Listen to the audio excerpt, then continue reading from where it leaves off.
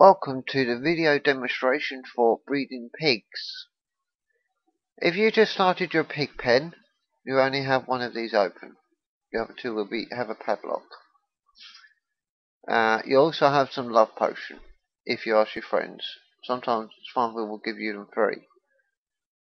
Now, just to let you know, green these green ones are again female, correction males. These ones here, pink and black ones, are the females. Uh, I shall give you another demonstration. Oh, because I haven't got any love potion, I can't do any. Well, I could, but it won't let me. I did that one and then ticked on breed. Uh, so we'll have a pink pig with that one, then breed. If you've got love potion, you can just add, uh, you know, I haven't got any, so I can still breed, which will take only 24 hours. As you can see, 1, 12 hours, 2 potions, 6 hours, 3, 3 hours, 4, 1 hour, 5 is an instant growth, instant breeding. Because I haven't got any, I shall do breed. Now, as you can see, these two are now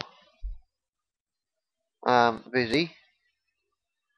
Um, if I do another set, green pig, with a black pig. And same again as you can do with the first one. I ain't got any, so I'll do breed. Excuse me.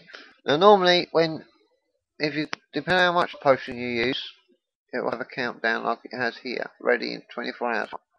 Once it's ready, uh, it above the pig pen, it will have like a little lamb or piglet symbol but black.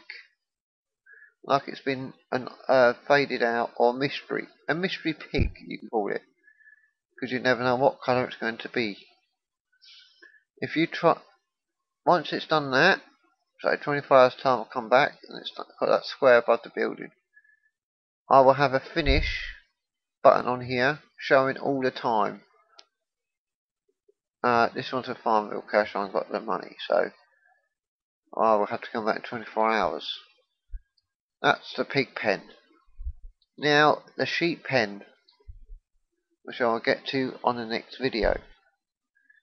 Thank you for watching the pig breeding help.